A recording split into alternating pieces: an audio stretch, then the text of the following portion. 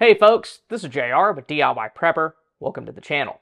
Over the years, I've covered a lot of ways to make water safe to drink. I've shown y'all all sorts of filters, different ways to boil water, and even some chemical treatment methods. And all those have their own advantages and disadvantages, but one method that I haven't covered yet is how to distill water. And being able to do that can be very important in a survival situation, especially one that's longer term. It'll remove contaminants that a lot of other methods just won't. And it's one of the very few long-term solutions that can desalinate salt water. So if you live in a coastal area and don't have a whole lot of fresh water nearby, then being able to distill water could be essential. So today I'll explain how distillation works, why you might need it in an emergency, and how you can do it at home or even off-grid using something like this 3-gallon still from Vevor. This is a topic I've been meaning to cover for a while, so when they email me asking if I'd like to take a look at some of their stuff, I requested this still and they were kind enough to send it over. And if you want to check this or any of their other products out, then be sure to use the link in the description below. And you can also get 5% off any of their stuff on their website using this code. But in a nutshell, distillation works by evaporating water, leaving all the bad stuff behind, and then condensing the water vapor back into clean, drinkable water. That process removes most chemicals, heavy metal sediment, biological contaminants, and even dissolved minerals like salt. About the only thing that it doesn't remove is certain volatile organic compounds like benzene and formaldehyde that have an evaporation temperature very close to that of water. However, those can usually be removed using a carbon filter either before or after the water is distilled, but even with that, desalination will still remove a lot more contaminants than things like portable backpacking filters will. Most of those are only designed to remove bacteria and sediment, and they're not going to do anything at all to remove chemicals. Then even the ones that can remove chemicals, they aren't able to desalinate water. And most portable desalination methods are one-time use only. But if you have a still like this, you'll be able to desalinate relatively large quantities of water repeatedly long term. This three gallon still that I have here with me is one of their smallest models, but you can get bigger ones. They have five gallon models, eight gallon, a few more, even all the way up to 18 and a half gallons, which is huge. I just wanted something though, a little bit on the smaller side that wouldn't be too hard to store away when we're not using it.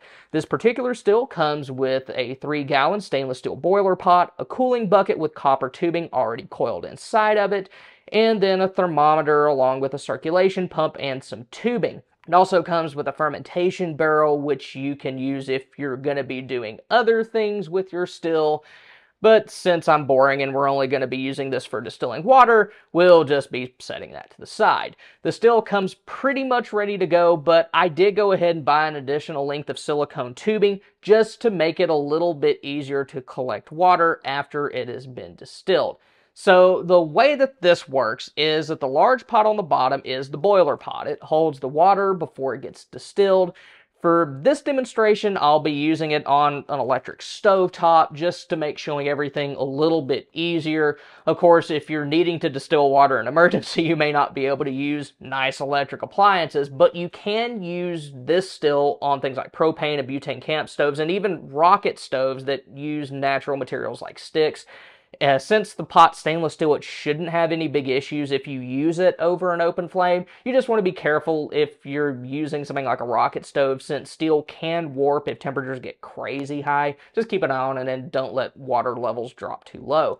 But once the water starts to heat up, it'll eventually turn into steam. And when it does, it'll travel up this copper pipe over here and back down through the coil. And as it travels through the coil, it's cooled by the water inside of the cooling bucket. Now, if all you have is the water inside of this bucket, it's going to heat up pretty quickly and it won't do nearly as good of a job condensing the steam. After a certain point, you'll probably be able to see steam coming out of your still rather than water. And that's why I asked for the model that comes with a circulation pump. You can place the pump inside of a larger container like a cooler that has cold water inside of it. It'll then circulate cold water through the cooling bucket which will help keep the condenser coil colder for a lot longer. If you have ice, you can use that, but if we're in a longer term situation, you could use a small solar power option to run a 12 volt refrigerator and use that to freeze reusable ice blocks like the ones I have here. And you can also use your power station to run your pump as well. But once you have everything put together and figure out the correct speed for your pump, everything should work just fine. So first up, I'm gonna fill my pot with water. And when I do this, I'm only actually going to fill it up around a half or two thirds of the way full. And the reason for that is that, you know, when you boil water, of course, water is going to come up. I don't want it to overflow and risk damaging or anything or flooding the stove top, anything like that. And one good thing about distillation versus other methods is that you don't necessarily have to worry about cleaning a lot of the debris out of the water before you try to distill it because that distillation process is going to remove that anyway. You compare that to a regular like filter type thing, whether it's a countertop unit or some sort of backpacking setup, and you do need to try to pre-filter that as much as possible because you're going to gum up your filter if you don't.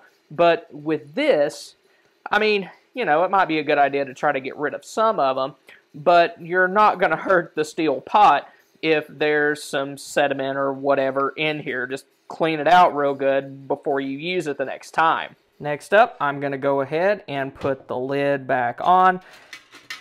And go ahead and clamp everything down.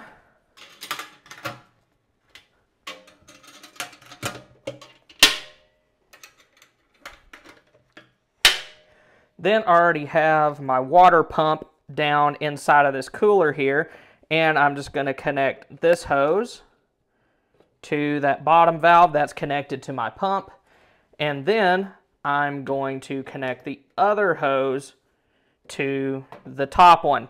Next up, I'm going to turn on the pump. Okay, y'all, when you turn on your circulation pump, if you have one, be sure that you actually open the valves first. Otherwise, ain't nothing going to happen. You could burn your pump out or burn your pump up if you're not careful. So I'm just going to let the pump go ahead and fill up the cooling bucket. And while that is happening, I'm also going to turn on the stovetop. I'm going to turn it up to high, just like when we would boil water. We're going to give this a little bit of time and see how things go. But as you can see, I have my still here on the stovetop. I have it connected to the pump and water starting to flow from the cooling bucket back down into the cooler, which is what we want. And then this long tube here is connected to a stainless steel stock pot, and that is where the distilled water is going to end up after it goes through the distillation process. Now, y'all might be able to hear a, we will say, duck-like sound coming from this thing. And what you can do is you can kind of play with this valve here to kind of help reduce that. Now, when you do that, you want to make sure that you don't close it to the point where the cooling bucket overflows, because that would be bad. But you can kind of play with that valve in addition to adjusting the speed for your pump. So as you can see, the water is coming through the, um, the condenser coil in the cooling bucket and we're starting to have water come through our tube down into our stock pot. So it seems like it is working as it should right now. So we've been at this for almost an hour now and as you can see our pot is starting to fill with water and a couple things I learned through this process is it has taken me a little bit of work to figure out the balance between how fast my pump should be going and how far open or shut I should have that valve. It's something I've kind of had to babysit a little bit if I did not want to be dealing with the aforementioned duck sound. But that's I think that's just something that'll come with experience and knowing your gear a little bit better. And another thing is that if you're going to be using the circulation pump, which I highly recommend, because otherwise that water inside of the cooling pot is just going to get very hot very quickly. You want to fill up your container, cooler, whatever it may be, with as much water as possible because it's still going to heat up. This water has gotten pretty hot even with these ice packs in here with the water circulating the entire time like that. I, I don't even want to keep my finger in there for too long. The water's just getting so hot, but I mean, that's what happens. Oops. Close that a little bit. But, I mean, overall, the system seems to be doing what it's supposed to be doing. The only issue I had with the system itself is that nut right there in the middle, right where the um, the water comes out. I did have a little bit of a leak, but I mean, I just before you start, make sure that everything's nice and tight. I did not do that, but anyway, it all seems to be doing what it's supposed to do. Now, there are some important things that you need to know about distilling, especially if you plan to use it in an emergency. First, it takes a long time to distill water. Depending on the size of your setup and what you're using as your heat source, it could take several hours to get one gallon of water. Second, distilling is going to use a lot of fuel. That kind of just comes with the territory if you're having to heat something for long periods of time. So if you're going to rely on this, be sure that your fuel stockpiles can handle it. I'd strongly recommend having something that can burn natural materials rather than just trying to rely on fuel-based camp stoves. That's part of the reason why I went with the smaller model. I figured that a three-gallon pot will take a lot less time and fuel to heat up than something bigger like a nine-gallon unit would. And since it uses so much fuel, we're probably not going to be using distillation as our primary water purification method, but it's still good to have. If you live in like a coastal area, I think something like this is essential. And even if you're not, you can still use it as a backup if you have to purify water that's just a little bit too much for your regular filter to handle, or you need to distill water for medical purposes. A lot of things like humidifiers need distilled water, and something like this would give you a long-term supply of that. Then since distillation removes pretty much everything, it also removes minerals, including those that your body needs. Those include calcium, magnesium, and potassium, among others. So if you're going to rely on distilled water long term, you're going to need ways to replace as many of those as you can. And to do that, you could use like electrolyte powder, unrefined sea salt, or mineral drops.